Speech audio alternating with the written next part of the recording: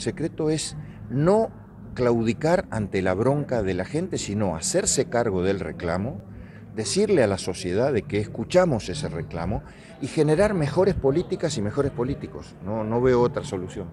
Las crisis son oportunidades siempre y esta es para este resurgimiento de, de las juventudes. Sí, sí, hay mucha juventud, alguna que está mm, motivada por la bronca, es cierto, si hay algún sector de la yo digo que hay dos sectores de la sociedad que están muy castigados, que son el sector de la juventud y el sector de los jubilados, ¿no? los adultos mayores. Y entonces hay mucha desazón.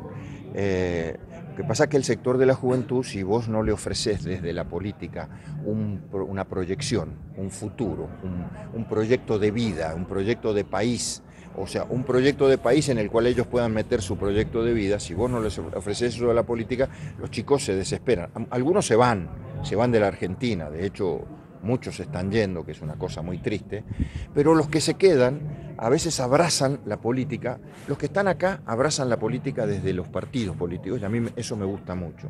Hay otros que la abrazan desde la anarquía o siguiendo a líderes que por ahí son novedosos, ¿eh?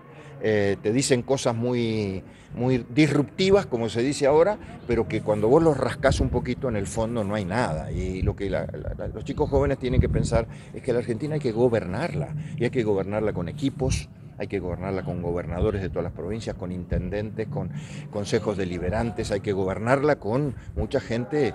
Y a veces estas propuestas, este, te estoy hablando de mi ley, te has dado cuenta, esas propuestas que aparecen muy simpáticas al principio terminan defraudando más, ¿no? Entonces hay que ser muy cuidadosos con eso.